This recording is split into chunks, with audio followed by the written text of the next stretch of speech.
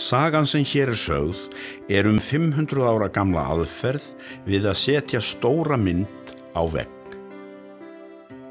Um mitt sumar árið 2014 samti listasafn Reykjavíkur við málaramestarana Helga Gretar Kristinsson og Arnar Óskarsson sem báðir kenna við málaradel tekniskólans um að mála mynd eftir erró á gabl fjölbílishúsins við Altahóla fjögur í Reykjavík.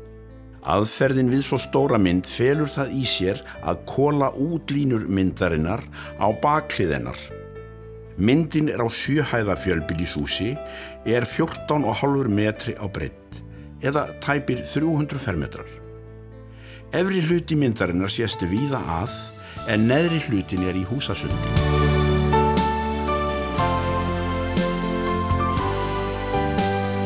Neðri hluti myndarinnar verður einnig settur upp á vegg þá með keramíkflísum á Íþróttahúsið Östurberg en bæði verkin eiga að mynda eina held. Er kyrtur um hverfi, blasa bæði verkin við með stuttu millibili.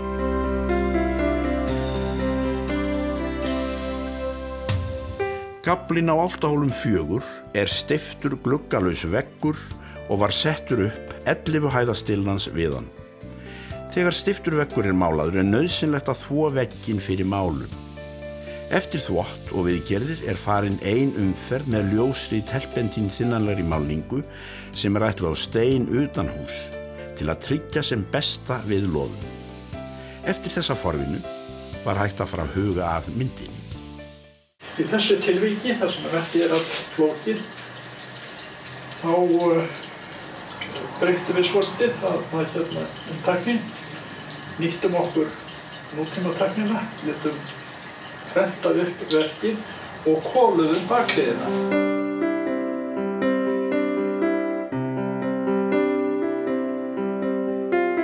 Mynd Errós þurfti að stakka 40 sinnum svo hún passaði á húsgablin.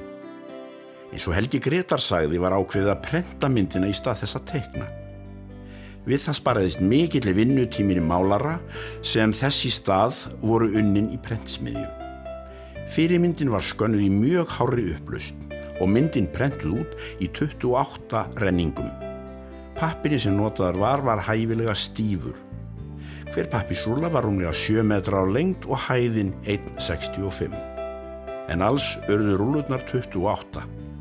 Auðvelt var að ráða við þessa stærða pappisrúlum og gekk nokkuð vel að vinna með þær. Hér áður fyrr var notaður smjörpappir eða þunnur pappir til þess að teikna á. Pappísrenningar voru settir á ljósaborði í tækniskólanum og útlínur á baklið þeirra kólaðar. Ljósaborði var sérstaklega hannað fyrir þetta verkefni. Lóðrétt og auðvelt að standa við kólunina.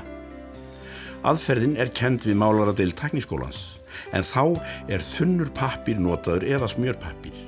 En eftir því sem pappirinn er þinnri því auðveldara er að sjá í gegnum hann. Meistararnir Michelangelo og Leonardo da Vinci nótuðu aðferðina hér á árum áður.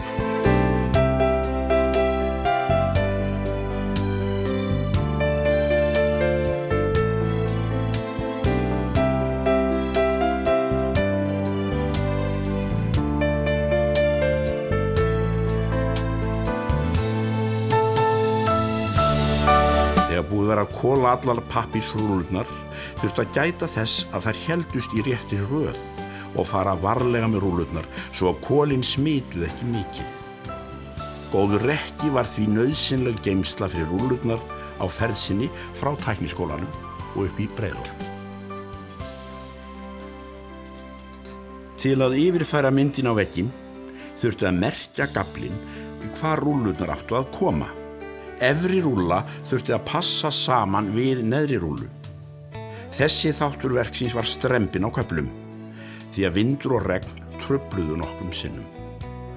Þegar búið var að setja renning á vekkin var farið ofan í útlínur með eigar pinna. En við það festust kólinn við húskablin. Oft var lína á vegg slidrótt eða vantaði línur. Erfitt gætt verið átt að sjá myndinni vegna stærðar hennar og hversu flókin myndin er. Því var stöðust við fyrirmynd sem var prentuð sérstaklega fyrir verkið og búið var að búta niður á spjöld og einni voru notaðar spjaldtölfur og snjátt sími með fyrirmyndinni í.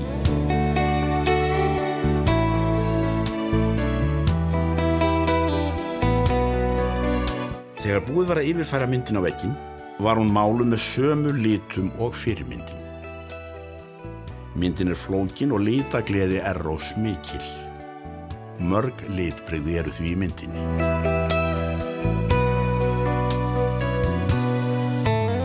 Fyrst voru ljósu grunnflétitni málaður á gablin en endaði í dekkri litum.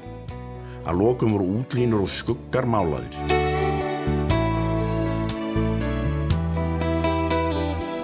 Gott er að nota pensil með svínshárum og laungu skafti, sérstaklega til að mála bogadregnar línur.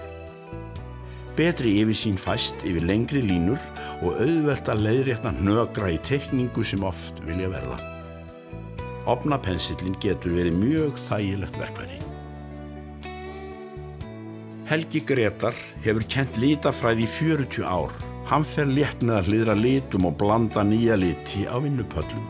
Manual maður, eða maður sem kann til verka ríkur ekki í málingarverslun eftir lit sem passar. Eldur hræri litin á staðnum. Í myndin er um 50 litir en keftir grunnlitir auk svarts og kvíts voru áttatalsins.